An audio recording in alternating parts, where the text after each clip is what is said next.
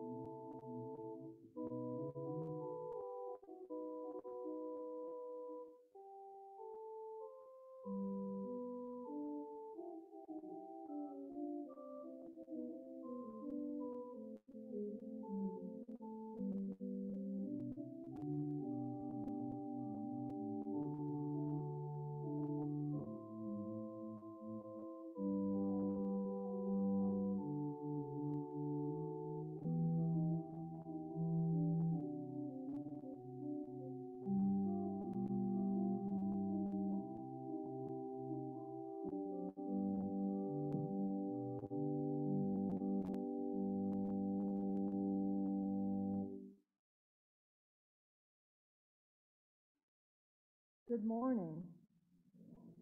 It's so great to see all of you today, whether you are joining us in person or through our Zoom live stream. Welcome to worship here at UCC Burlington. If you're new to this community, we want to extend a special welcome to you. Your presence is a blessing. I now have a few announcements which I would like to bring to your attention. If you're joining us online, you're invited to share your joys and concerns during prayer time. If you want to share your prayer directly to the congregation, please notify Zoom host Michael in chat, or you can send your prayer to the Zoom host in chat, and they'll share your prayers with Pastor Angela. Those of you who are working with us in person have a friendship slip attached to your bulletin. So please take a moment to fill this out and put it in the basket during the collection of the offering. This will help us keep track of attendance, and in the event of a COVID outbreak, it will help us with contact tracing. For the time being, we're suspending our Red Wagon initiative of collecting food for the People Helping People Food Pantry. The pantry is still in need of goods, which can be dropped off directly at the pantry. The pantry is also in desperate need of volunteers. You can go to the People Helping People website to find details regarding how to sign up to be a volunteer. Our church member, Alan, would like to join us for worship in person, but he needs rides to church. Alan lives in Waltham and he is fully vaccinated.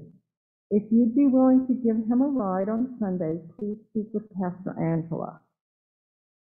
If you're worshiping with us in person, we will have time for coffee and conversation after the service in Jewel Hall. Just go down the hallway to the doors up here and straight down the hall to Sewell Hall. We're hosting a farewell picnic for Pastor Angela here on her last Sunday with us, August 29th. It will take place right after worship. All are invited, but in order for us to plan accurately, we'd like to have the head count. If you plan to attend, please RSVP with Gina Trudeau or Lucy Damiani. Details can be found in your bulletin. Also, next Sunday is going to be a very special service as Thorn and um, Emerson are going to be baptized. So we hope you'll all be able to join us for that very special service. Let us now center ourselves for worship as we listen to the introit.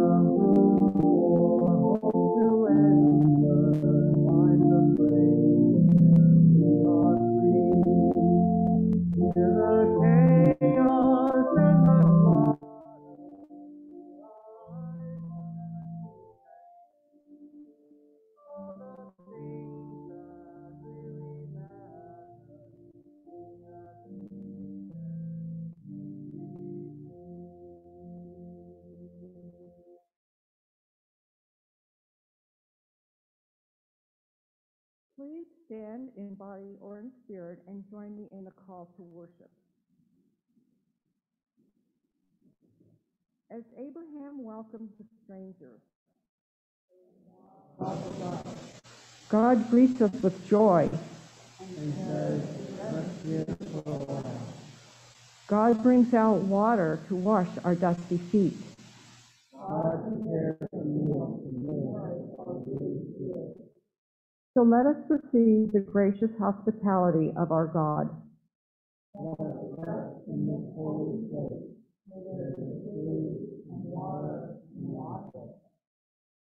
Please join me in singing our opening hymn, There is Room in God's Great Welcome, which is an insert in your bulletin.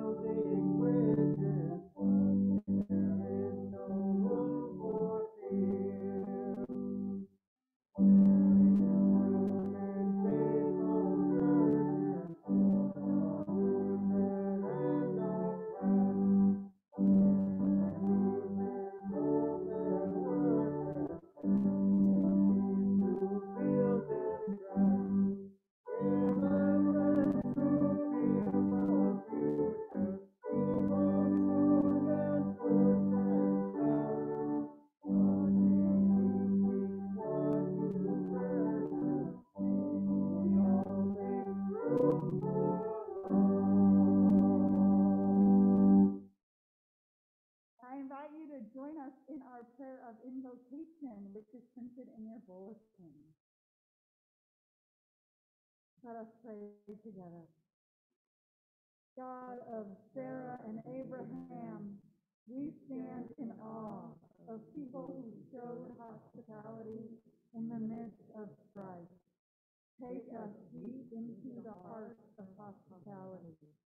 Help us to understand that the generosity the world needs often demands sacrifice on our part. Be with those who have never known a table blessed by laughter and welcome, who have seldom heard affirmations, and who do not know your abiding love. In this time of worship, remind us that we are to set many tables, to speak blessings often, and to be your love in the world. In the name of Christ we pray. Amen. My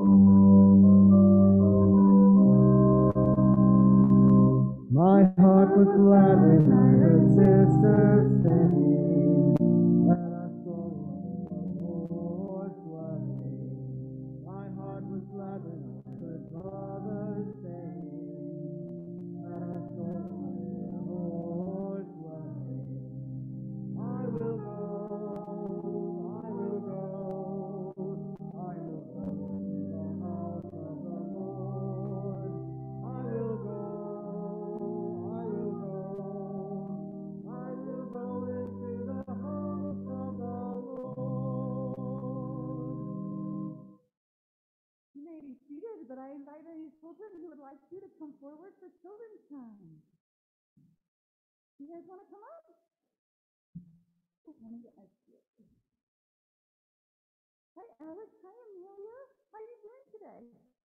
Good. We miss you last week. Did you, did you go out of town? Yeah. Did you have a good trip? Good. So I have a question. Um, do you know the word hospitality? You heard that before? No. What about the word welcome? What does that mean to you?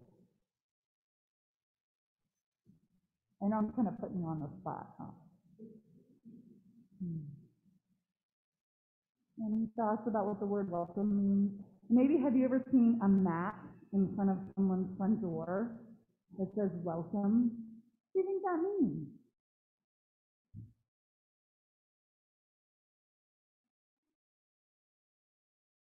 That they're welcome? Is that what you said? It's hard to hear with the on. Yeah. Or here at our church, we say all are welcome, right? I mean, everybody is invited to be part of our congregation and our community, right? In today's Bible story, there's a man named Abraham, and three strangers come to his home. He doesn't know these people at all, and they come to his door. And what do you think you might do if if you're home and someone rings your doorbell and you look outside the window and you don't recognize them? What would you do? Would you fling the door open wide and say, come on in? Probably not. No. Would you maybe go get mom or dad?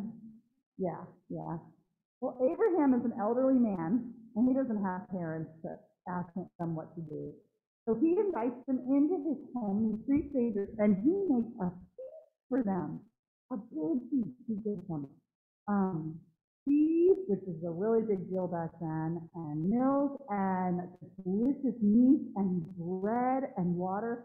And he, do you know the phrase rolled out the red carpet? When you roll out the red carpet for somebody, it means you just, you welcome them extravagantly. And that's what Abraham does for these three strangers. And what this teaches us as Christians is that we are asked to be loving and warm, and that word I used before, hospitable, to everybody we meet, which is kind of hard, right? But hospitable means uh, offering somebody that welcome or kindness. So when you meet somebody that maybe is thirsty, you give them something to drink. When you meet someone who's hungry, you give them food. If they come to your home and you talk to your parents and they're in need, maybe you give them something from the kitchen. So that is what um, the Bible invites us to do as Christians, and that's one way that we care for each other and show love for one another. Any questions about that? No, does that make sense? All right. Let us have a word of prayer. Holy and gracious God, I thank you for the children in our church who ask the right questions, who are honest, who help point us towards you and your unconditional, radical, welcoming love. We are so blessed that they are part of our community. Amen.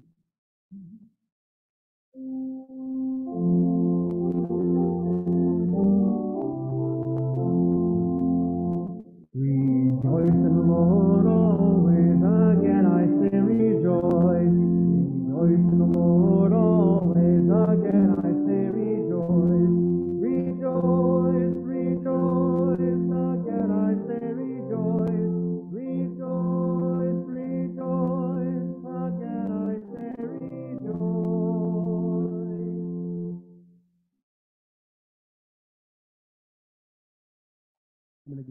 break for this one.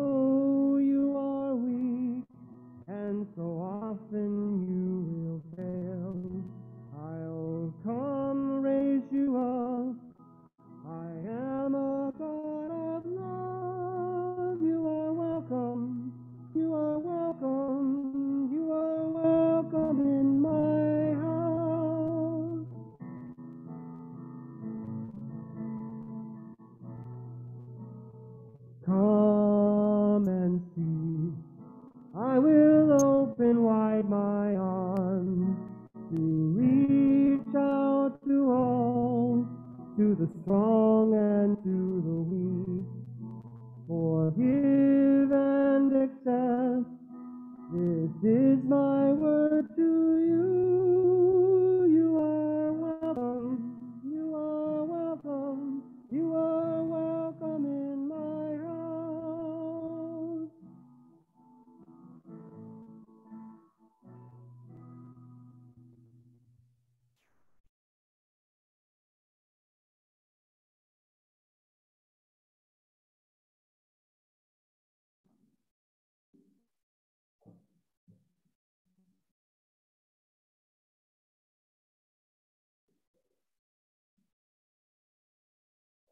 was beautiful, Mark. Today's scripture reading is from the book of Genesis, chapter 18. The Lord appeared to Abraham by the oaks of Mamre, as he sat at the entrance of his tent in the heat of the day. He looked up and saw three men standing near him. When he saw them, he ran from the tent entrance to meet them and bowed down to the ground. He said, My Lord, if I find favor with you, do not pass by your servant. Let a little water be brought, and wash your feet, and rest yourselves under the tree.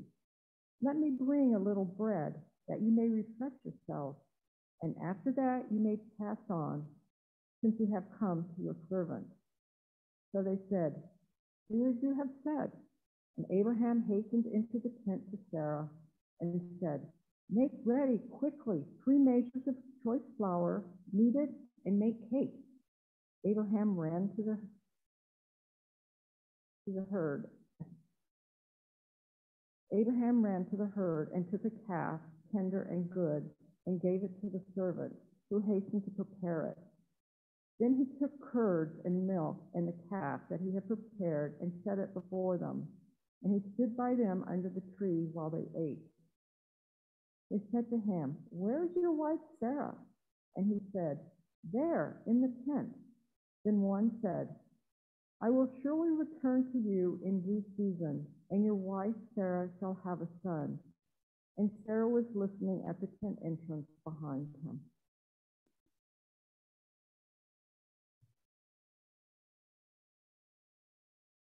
Have you ever been warmly welcomed into someone's home? Yeah. I mean the kind of warm welcome where when you ring the doorbell, they open the door wide and they open their arms and they say, Come in, come in, we've been waiting for you.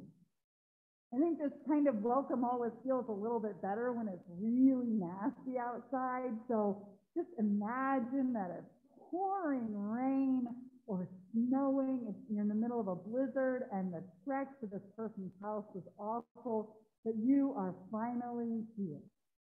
And they tell you, come in, take off your shoes and your jacket, make yourself comfortable. And then you walk into the kitchen together and they say, what can I get for you? Any drink you want, maybe a cup of hot tea or a cup of coffee or a strong libation or a glass of wine. Your wish is their command. And then you look on the kitchen counter and you see a big spread of appetizers ready for nibbling. Maybe there's some warm brie and crackers. That's my favorite. And then you look over at the dining room table and they have put out the linen tablecloth and the linen napkins. There's a beautiful centerpiece. And then you smell the aroma the main course is roasting in the oven. They have been waiting for you, preparing for your arrival. You know this evening will not only be filled with delicious food and decadent desserts, but also wonderful conversation and laughter, and the hours will fly by. This is hospitality, where you are welcomed just as you are and all your needs are met emotional, social, physical. This is a wonderful, soul filling evening. Our theme for the month of August is welcome. What does it mean to feel welcome or to welcome others? I chose this because we are leading up to Welcome Back Sunday in just a few weeks when the church welcomes everyone who maybe went astray for the summer and we welcome all the children back to Sunday school. And you'll also be welcoming a new interim pastor. And so today we're focusing on welcoming the stranger and practicing radical hospitality. The scenario I laid out, being welcomed into someone's home, isn't one we'd think of as extending, extending to or receiving from a stranger. That's the hospitality reserved for close friends or family. But I'm going to challenge us as Christians to think about having that kind of welcoming mindset for anyone and everyone who enters the doors of this building, either physically or on our Zoom worship service. In today's story from the book of Genesis, Abraham rolls out the red carpet for strangers. To start, he says, let a little water be brought, and wash your feet, and rest yourselves under the tree. Let me bring a little bread that you may refresh yourselves. He says this because hospitality was essential in the ancient Near East. It was literally a matter of life and death. The climate was arid and very inhospitable, and so this was part of the moral fabric of daily life. Reliance on the benevolence of strangers is what allowed people to travel before there were hotels and restaurants. You had to trust that when you left home, there would be people along the way who would take you in, who would give you shelter and food when you needed it. This is how Jesus and his disciples traveled. When he was instructing them, he said, Take nothing for your journey. No staff, nor bag, nor bread, nor money, not even an extra tunic. Whatever house you enter, stay there and leave from there. In other words, he's saying accept and accept the hospitality of others. Now, if someone came to your home and you closed the door and you did not welcome them, word traveled fast. And so the next time you hoped to travel, you probably wouldn't receive hospitality because people remembered and towns were small. And so it was in everyone's best interest to extend this warm welcome to anyone who traveled by their home. So it is completely normal that Abraham offered water and bread and shelter from the sweltering heat. What is not normal is what he did next. Now, here comes the red carpet. Abraham tells Sarah, his wife, to make ready quickly three measures of choice flour. So he's telling her, use the good stuff and knead it and make fresh cakes. And then he runs to the herd and takes a calf, a tender, good one, and gives it to his servant and tells his servant to prepare it. So now they're preparing bread and the fatted calf for the guests. And then he adds cheese curds and milk to the feast. And in Deuteronomy, we're told that milk and honey are signs of God's provision. And so he sets this all before the guests and they eat it under the shade of a tree. And if that's not impressive enough, let us remember the condition Abraham is in, which might make this welcome feel even more extravagant. For one thing, Abraham is 90 years old, which would inevitably slow anyone down. So anyone who's hosting anyone in their home when they're 90 years old or older is very impressive.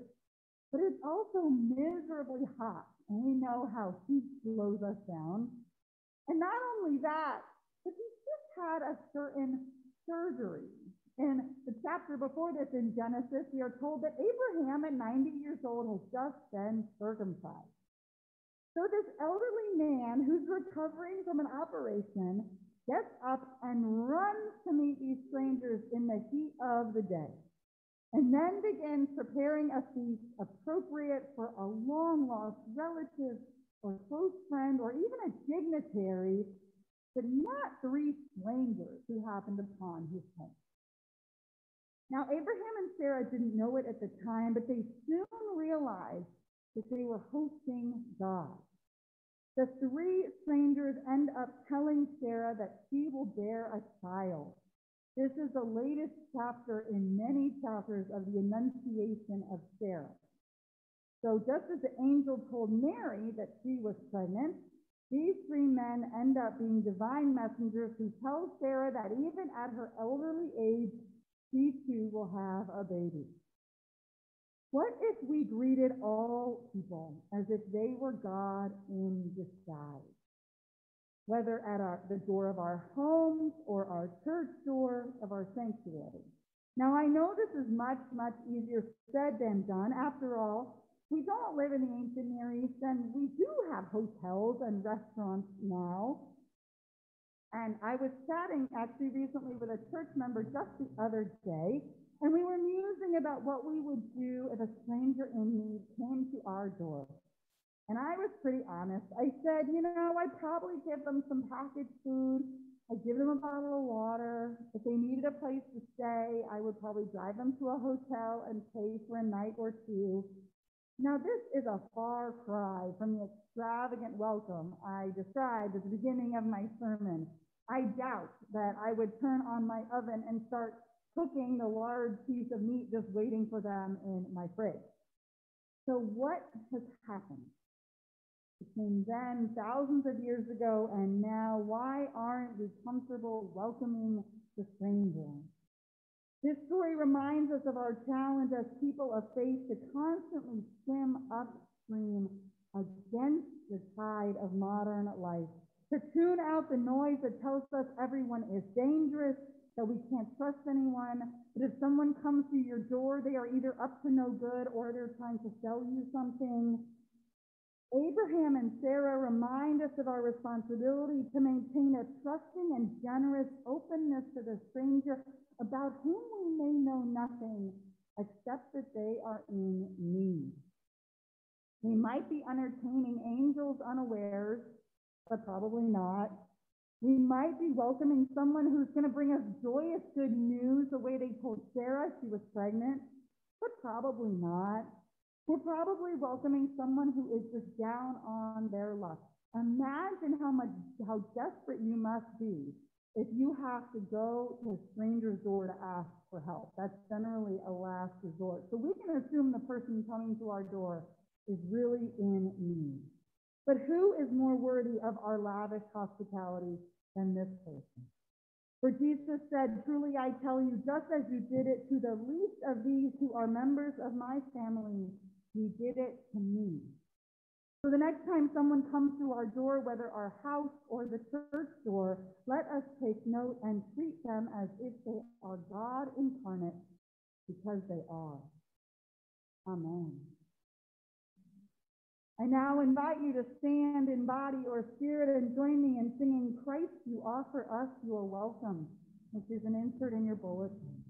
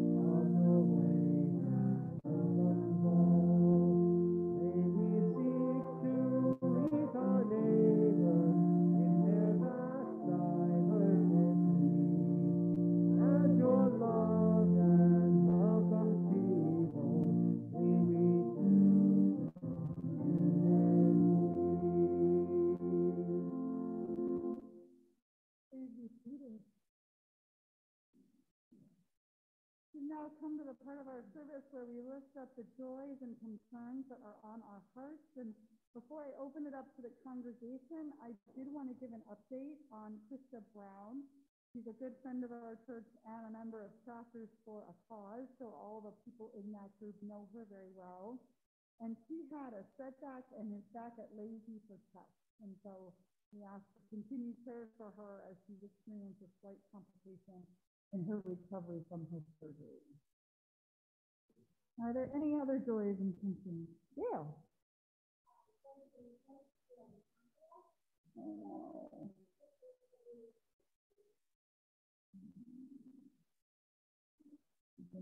This.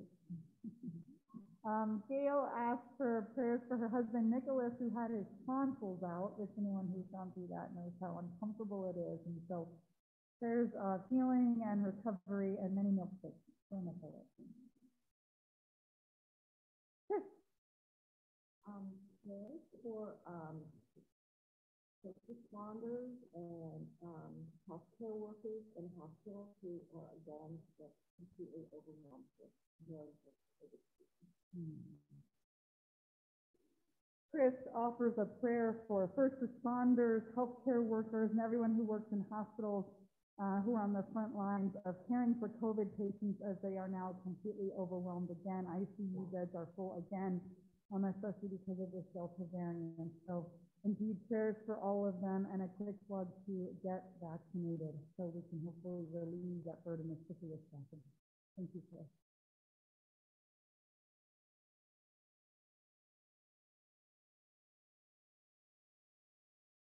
Any other prayers we want to lift up this evening?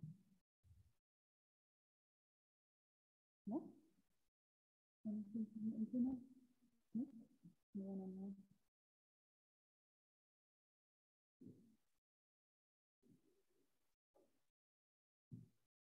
Let us take a moment of silence as we offer up our private prayers.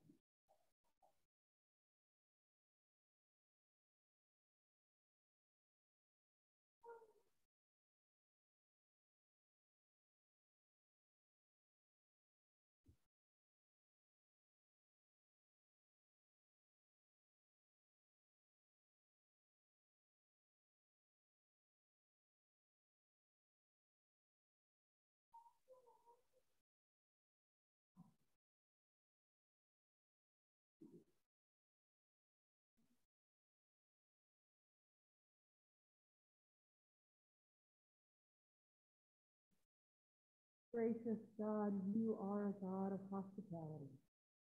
There is none like you that invites all to come to you. You have invited all to your home, to your table, and to your open arms. Help us to remember that no one is better than anyone else in your realm. No one sits at a better seat at the table. Help us to treat each other the way you treat us, because you treat us with your tender love we take time to pray for our friends, our family members, our loved ones, and strangers who need you more than ever.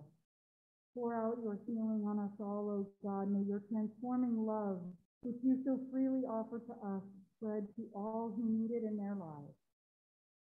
Gifting God, you give us the gifts of the Spirit to use to further your realm and to be the body of Christ in this world. We take time to remember those devastated by all the recent natural disasters around the world. We pray for all the people on the front lines who are trying to fight against them. Empower us to continue to be your hands and feet and to continue the work that needs to be done to protect this earth which you have entrusted to our care. There is none like you, O God, in your love, your generosity, and your hospitality. And we thank you that you are in our lives, working in us and through us to let people know that your realm is open to all. And we have the courage and wisdom to extend your hospitable love to all people who consider themselves part of our church community. We pray this in the name of your Son, who opened the doors and broke down barriers that kept people from you, who first taught us to pray together, saying, Our Father, who art in heaven, hallowed be thy name. Thy kingdom come, thy will be done, on earth as it is in heaven. Give us this day our daily bread, and forgive us our sins, as we forgive those who sin against us. And lead us not into temptation, but deliver us from evil. For thine is the kingdom, the power, and the glory forever. Amen.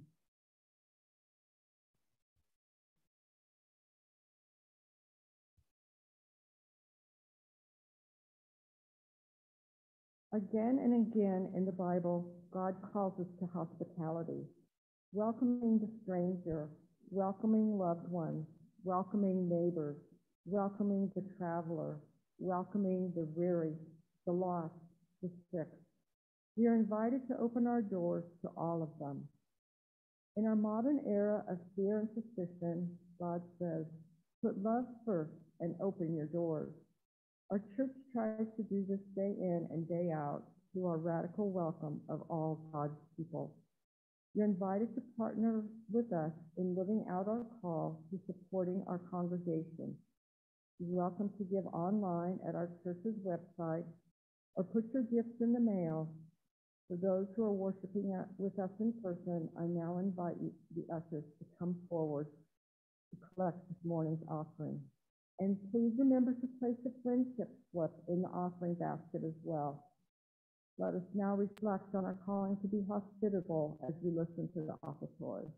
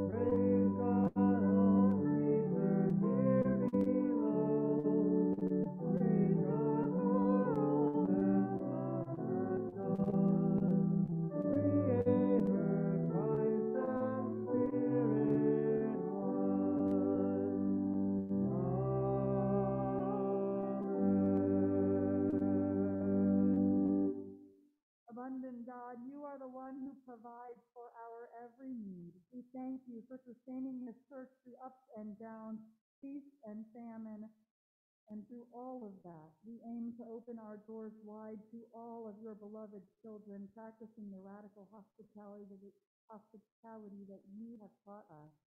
We are grateful for the gifts given this week, which will enable us to continue to do this in your name. Amen.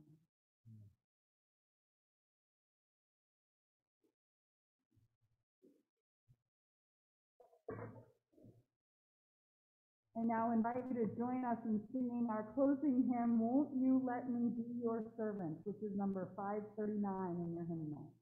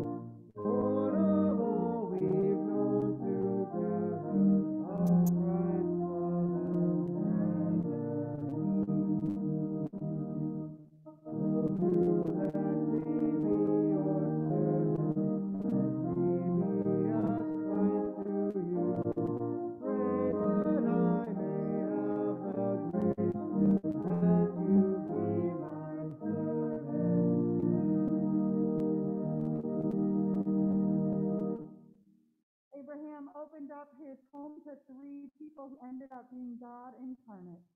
May you have the courage to be hospitable to everyone you meet, for you also will be entertaining God incarnate because you are a beloved child of God and you are each created in God's image. And I pray that you go from this place in peace. Amen.